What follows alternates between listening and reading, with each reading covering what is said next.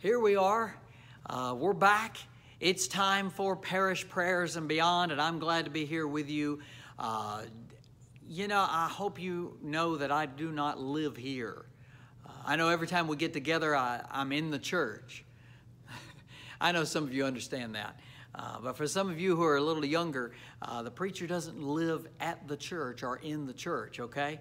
Uh, the church is a place where God is worshiped his name is praised, uh, and also a place where we do Bible study and learn more about Him through God's Word. Uh, and tonight, that's what I want us to do. I want us to uh, be thinking about something tonight. I, I have a question for you. Does God work all things out for us like we want Him to? Does He work things, everything out like we want Him to? Be thinking about that. I'm Pastor Craig Beeman, and it's time for parish prayers and beyond. Listen, I want you to listen to this verse. It's a, it's a very well known verse, and you know it, uh, but I want to read it to you, and we're going to, we're going to look at it together uh, this evening. Bible tells us from Romans 8 28, and we know that God causes all things to work together for good to those who love God, to those who are called according to his purpose. Uh, for those of you who prefer the King James uh, that you grew up with, uh, let us hear it from the King James as well. And we know that all things work together for good to them that love God, to them who are the called according to his purpose. Growing up, I used to hear this verse used uh, a lot. And I used to hear, hear it used to imply many times that God would simply make everything better and that everybody would live happily ever after. Uh, you know, someone would just quote that verse, and, and that was supposed to be a magical cure, and we were all supposed to be happy after that. Um, and, well, I've, I've got some questions that I want to address about this verse. Uh, sometimes there is an implication that we will actually be able to see the good that comes out of the horrible that we've experienced. Sometimes there is an implication that we, in our lifetime, will see the good that God brings out of uh, our horrible situation. And sometimes that's strongly implied. Um, in fact, it, you know, it's still used that way today. Uh, a few questions, though, that must be asked of this verse are Does God work out all things for us like we want Him to work them out? I, I mean, does God always work everything out like we want Him to work it out? Another question Are we in charge of God? Another question um, will we in our lifetime always see the good that comes out of something horrible that happens to us or something horrible that we experience? These are some good questions to ask. And, you know, I want to encourage you as a reader of the Bible to always ask these questions, not these specific questions, but ask questions about the verse you're reading.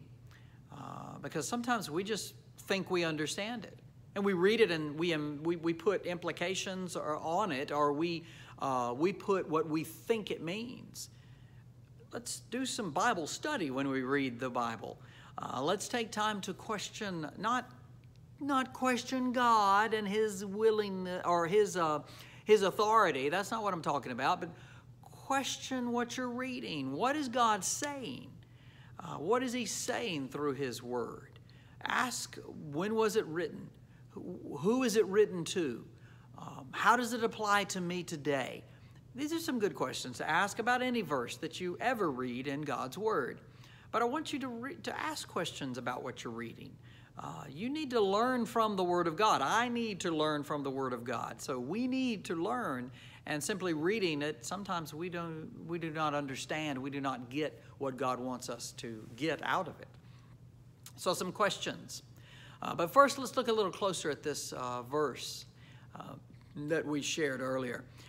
First, we, we see things uh, that, that things are working together for good but it's for those who love God. The, the, the working together for good is for those who love God. Uh, there's a restriction as to re- who receives all things working together for good. There's a restriction upon those who receive that. Uh, it's not for everyone. God doesn't work everything out for good for everyone.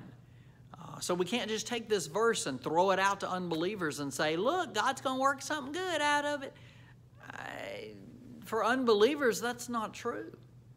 This is for those who love God this is important for us uh, because if there's someone in a time of trouble, an unbeliever, we don't need to tell them this. Oh, well, something good's going to come out of it. Well, they don't understand that. They don't understand that at all. That makes no sense to them. Right now, they're suffering, they're in pain, and they can't see any good, and, not, and they may never see any if they are, are not a believer. They've got to be one who loves God, who walks with God. We need to know that all things working together for good is for those who love God, those who are called according to his purpose, those who are walking with him, those who are continually leaning on his strength, those who are um, respecting his changeless law, those who rest in his grace, those who have accepted his salvation. That's for whom this working things out together for good is for. That's who this is for. This is for those who believe in God, these who are those who are walking with Him. Uh, so be careful how you use this verse. Uh, I, I'm not warning you, I'm telling you and encouraging you to be careful. Uh, because God's word is not something we just throw around at random. Uh, this verse is for those who believe, those who are called according to his purpose. To his purpose, uh, those are these are. This is for those who love God. So let's keep that in mind. Uh, God is not promising to work things out for good to those who are not called according to his purpose. The, he is not promising just to simply work everything out for everybody all the time for good. That's not what this verse says. So let's, let's move to our first question that I asked earlier. Does God work all things out for us like we want Him to? I think you, you, you know the answer to that. Uh, it's no. The Bible does not say that. It does not say that God will take what is bad and make something make it into something you like. It's eh, God is not saying that he, He's going to take a horrible situation and then make it something you like. Look, it does not say that God will work things out like we want them to work out. And that's something we need to remember. Now, I, to me, that is annoying. I would rather God work something out in the way I want Him to work it out. I would love for Him to do things the way I think He ought to do them. Uh, but there's a problem with that. I mean, that almost answers the next question that I had is, are we in charge of God? No, we're not. We have to remember that the good of God may not always look like good we call good, but it is good because God has called it good. Does that make sense? I hope it does. Um, we must remember that God is God and we are not. He is in charge. He will work things out for good but it's his definition of good that, that we're looking at here. It's not our definition of good. Our definition of good may be something totally different than what God has for us.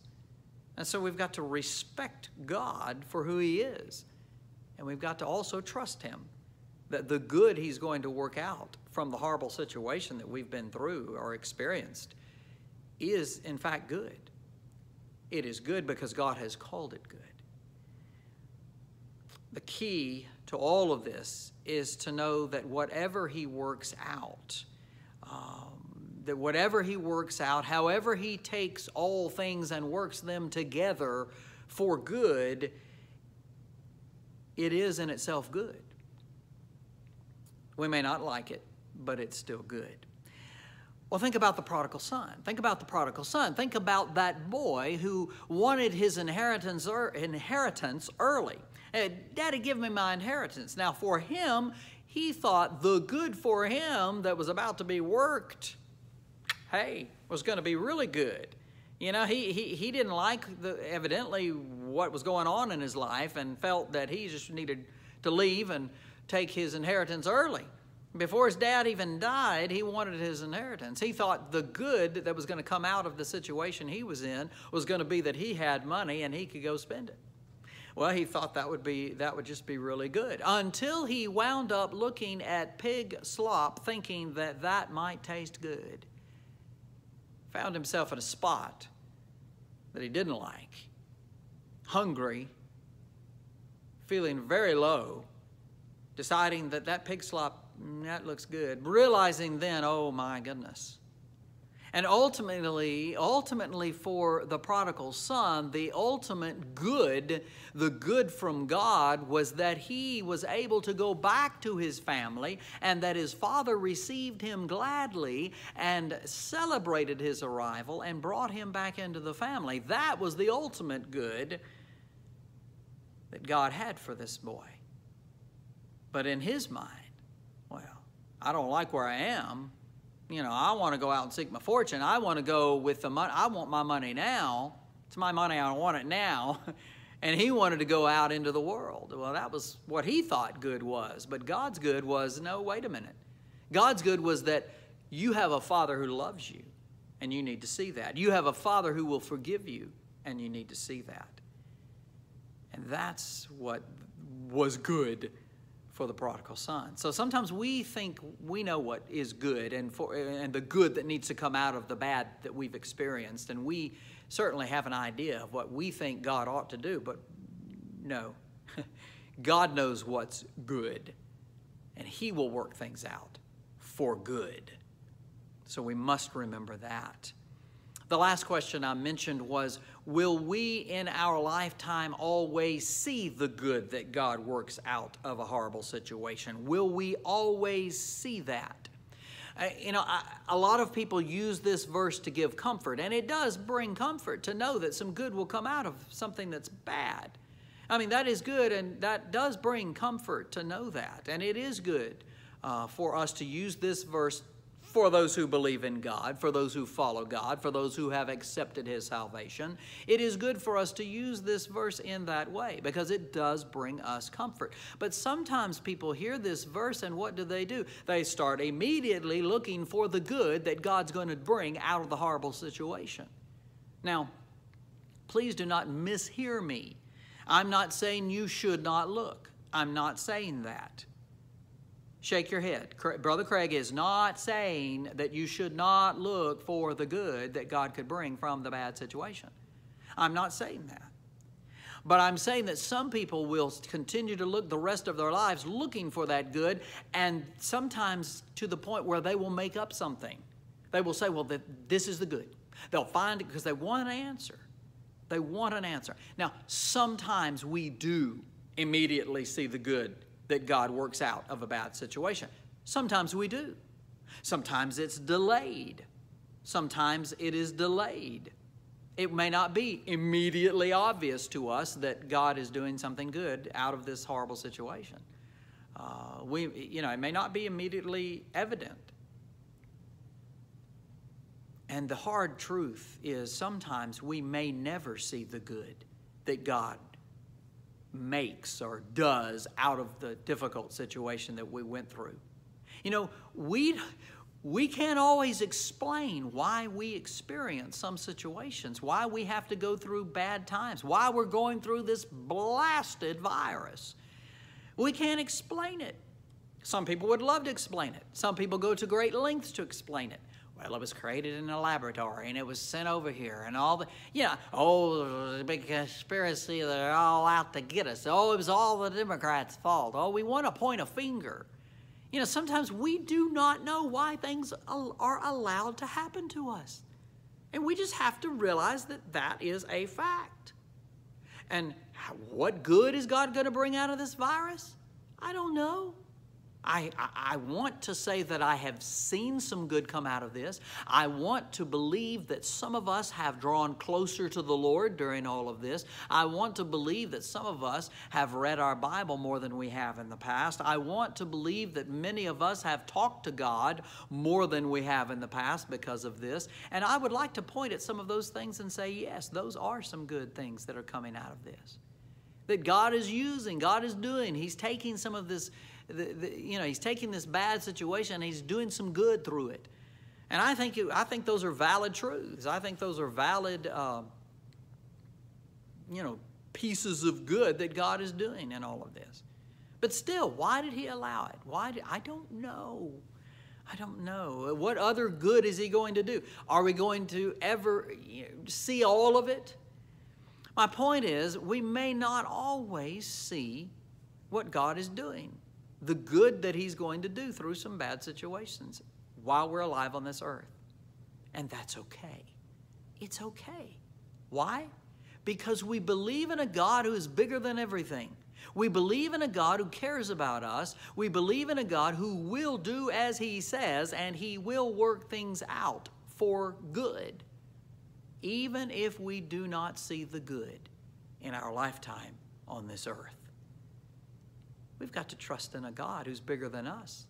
We've got to trust in a God who, who cares about us, even when we do not always see the good that comes out of the bad.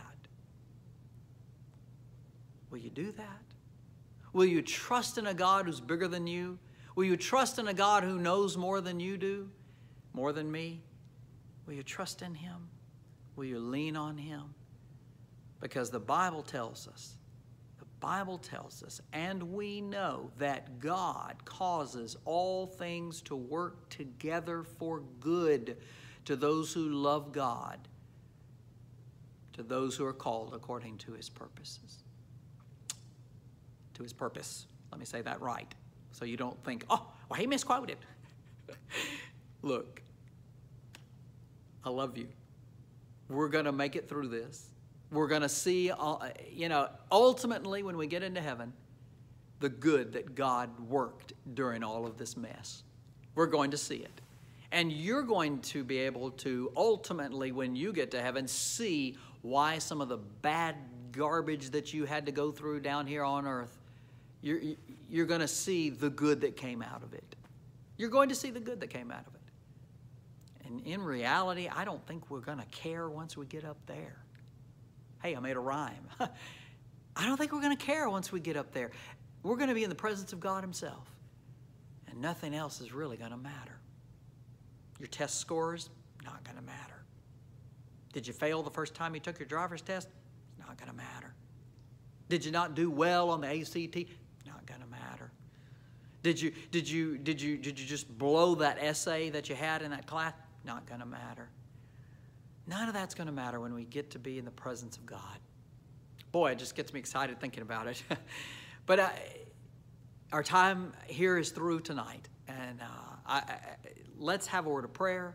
Uh, let's thank God for being who He is. Can we do that? Let's do that.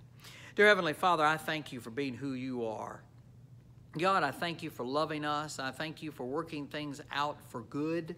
Your word says for good. It does not say for our good, but for good. Uh, so we look and see that you're going to work some good out of these weird, bad situations we experience. Uh, and so we trust you, Father. We trust your word. We, we believe that what you say is true, and we believe that you will do that. And Father, we thank you for being a God who cares for us, a God who walks with us, a God who is with us at all times. And Lord, tonight we want to pray for uh, the Hassel family in the loss of Lefty. God, it's hard. It's always hard to lose one that is close to us. And Father, that's the reason it's hard, is because we're close to them.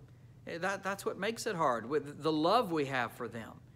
Uh, I think Queen Elizabeth once said that grief is the price we pay for love. And God, she was right. I mean, it's tough. But Father, we know that in your goodness and your great love and in your great care and comfort, you're going to be with this family. You're going to walk with the Hassel family day by day, and you're going to give them the strength they need. God, I thank you for that. Lord, I thank you for also walking with uh, our church because he is our brother in Christ, and we hurt as well, and we experience the pain of loss as well. And so, Lord, we ask that you continue to bring us all comfort during this time of loss. Father, we ask again that you would make this virus go away.